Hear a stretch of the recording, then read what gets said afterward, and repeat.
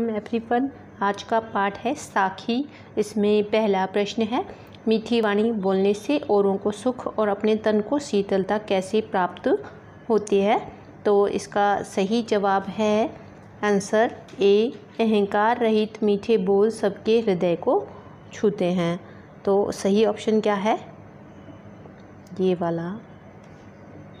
उसके बाद प्रश्न आता है साखी शब्द किसका तद्भव रूप है? तो साखी शब्द जो है, साखी का तद्भव रूप है। ये सही जवाब जो है ऑप्शन बी है इसमें। उसके बाद प्रश्न आता है, साखी शब्द किससे बना है?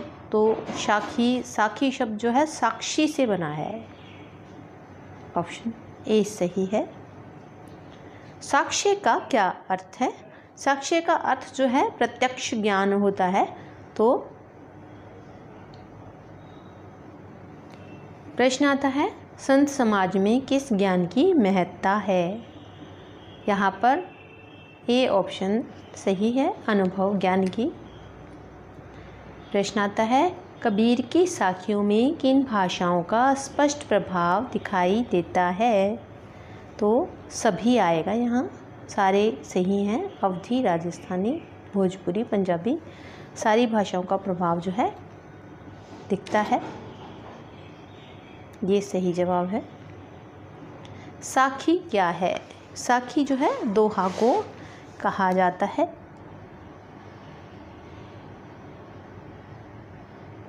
दोहा छंद के क्या लक्षण हैं?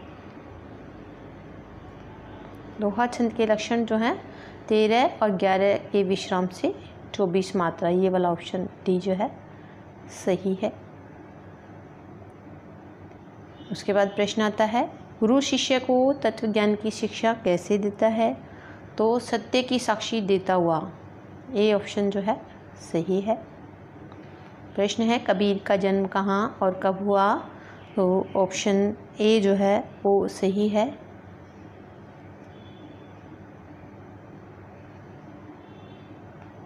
कबीर के गुरु कौन थे?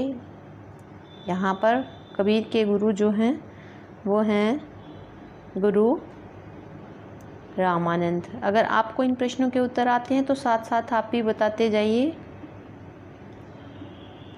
प्रश्न आता है, अपने स्वभाव को निर्मल रखने के लिए कबीर ने क्या सुझाव दिया? तो उन्होंने कहा था, निंदक नियरे राखिए, यानी कि निंदक को पास रखिए। निंदा करने वाले, बुराई करने वाले लोगों को अपने पास रखना। चाहिए।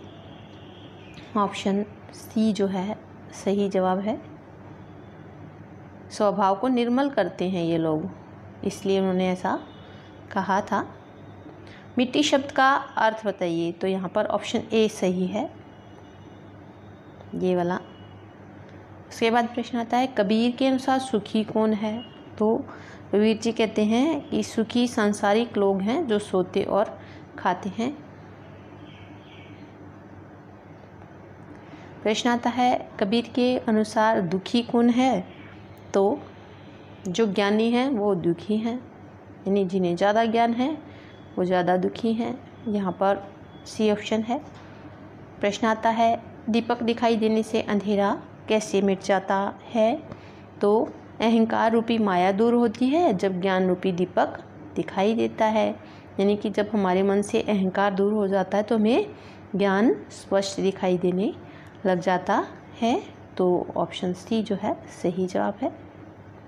प्रश्न आता है, ईश्वर कण कण में व्याप्त है, पर हम उसे देख क्यों नहीं पाते हैं? तो क्यों नहीं देख पाते हैं? मन में छुपे हुए अहंकार के कारण हम उसे देख नहीं पाते हैं। कबीर के अनुसार कौन ज्ञानी नहीं बन पाया है? तो उनके अनुसार मोटी पुस्तकें पढ़ने वाला व्यक्ति ज्ञानी नहीं बन पाया है तो ये ऑप्शन सही है। प्रश्न है, कबीर की साखियों का मुख्य उद्देश्य क्या है? कबीर की साखियों का मुख्य उद्देश्य जो है, जीवन जीने के सही ढंग का ज्ञान देना है। प्रश्न आता है, बिरहे भुवंगम तन बसई मंत्र न लागे कोई।